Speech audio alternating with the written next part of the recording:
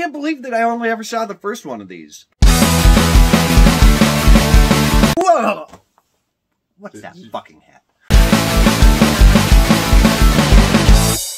Welcome to Stoopid Movies, where we watch them so you don't have to. Yeah! Oh, oh. Today we bought a VCR and some VHS tapes, and we popped it in. What did we get? We watched porno! We checked out VHS 94. Hoot. Just hit Shudder recently, and this was from 2021. Not rated, an hour and 43 minutes long. And this is the fourth in the VHS franchise. No, it is the 94th in the VHS franchise. Oh, man, we, we got to get caught up. Whew. Wow. And this was uh, directed by several people. The main one would be Simon Barrett and Steven Kostanski. Simone Barrett. Oh, who we just did his movie Seance not too long ago. We did. And then uh, we did Steven Kostanski's uh, most recent Psycho Goreman earlier this year. I like that a lot better than Seance. And then this starred uh, several people. It's an anthology. Anna Hopkins and Christian Potenza, among several others. Many, many others. So we bought that VHS. We put it in the VHR, the v- VCR. You know what I meant. I know what you meant. And we went back to the 90s, to 1994 specifically, which was a great year. Uh, because we were kids, and the 90s were awesome. And what happened when we put this VHS tape in? so VHS 94 is an anthology. It's like all of the VHS movies. The wraparound is about police raiding this illegal VHS distribution facility. Something like Something that. like that. Yeah. Cult. They find that everyone who's watching these videos is dead. Interspersed with that is the movies. We like the 90s. So what do we like about VHS 94? Yeah, I like the stories. Most of them were really good, and even the ones that weren't, they're short. So you know, you're on to the next one. Yeah, the first two stories especially are my favorite. I love the one about the Rat Man guy, and then Yes! that was great. And then the Wake, uh, which was the second one. I thought that was Yep. a, a really well done, creepy ass story. I like Rat Man. I do. That was my favorite story. I'm just gonna flat out say. I love the idea of going down into sewers and exploring because I've done that. I thought the actual thing looked really cool and pretty scary. Uh, uh, if I would see that, I would shit my pants. Yeah, and then how they twist it around at the end, where she comes back, and oh, holy shit, that was good. Just a really neat story. Um, you know, I would agree with you that that was my favorite too. That one, it's between that one and the Wake because those are the only two I can really remember. And the Wake had better sound effects and better special effects, I thought. Mhm. And was shot better because most of it was stationary cams. The Ratman one was uh, handheld cams. I mean, it was a news team, so they had shoulder mounted cams, and it, it was a little too Blair Witchy. But I think story wise, that one had it. Yeah, absolutely. And creep wise, Yeah. oh, So it is a found footage movie, obviously, yeah. which usually isn't my favorite, but I thought it was well done here. We know you love round Oh, all of these, all of the movies are found footage, right? Yes. The first one was, I know, and I haven't seen the second or third. Yep, they all play off that putting VHS tape in kind of thing. But I thought the aesthetic in this was done really well. Uh, the filters were used as necessary when needed to be. It wasn't overdone, and I appreciate that. And it has a '90s vibe to the whole thing. Like Yeah. each story has that '90s vibe, and I really dig that. I I love it. I thought it genuinely had some creepy moments in some of the stories, especially that those first two, especially, uh, which it doesn't. You know, it takes a lot to really get under my skin. That freaking Rat Man one, dude, creeped me out a few times. See, and for me, the the Wake Yeah, creeped me out more. sure. but I think a big part of it is a ingrained response to a tornado siren. yeah, Having grown up in tornado country, when I hear that siren, man, it instantly gets my heart going. Like I was kind of in it already watching that one because it was like, oh, this is kind of you know, it's super tense. It's kind of claustrophobic for a big space. It's still very claustrophobic. Yeah. And I was like, this would kind of be a shitty job having to stay up with this corpse and okay.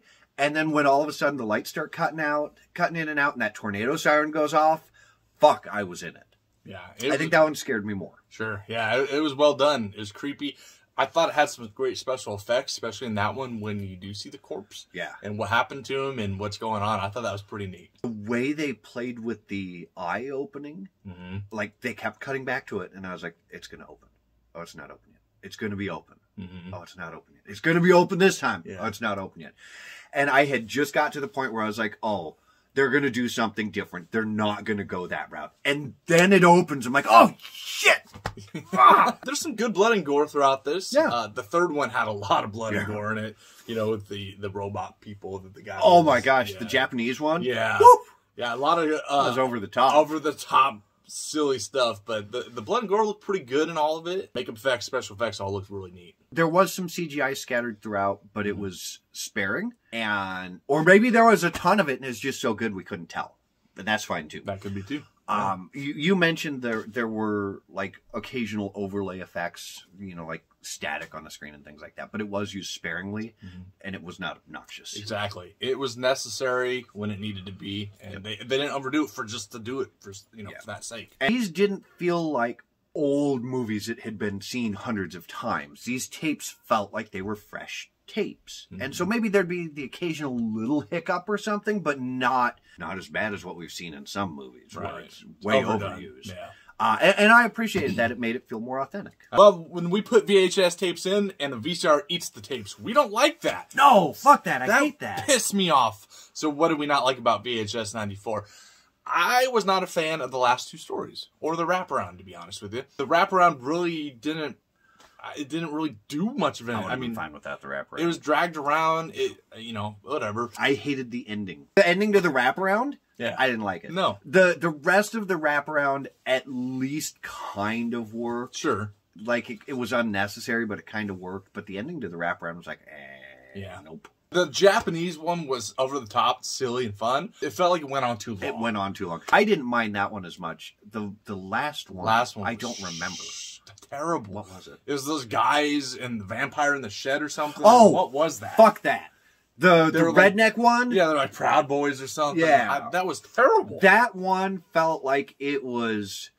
They were trying to make a social commentary. yes. And and they were like, "Oh, look, but these guys have existed since forever. You know, here's a video of them from the '90s." And it's like, but you just shot that this year, Yeah.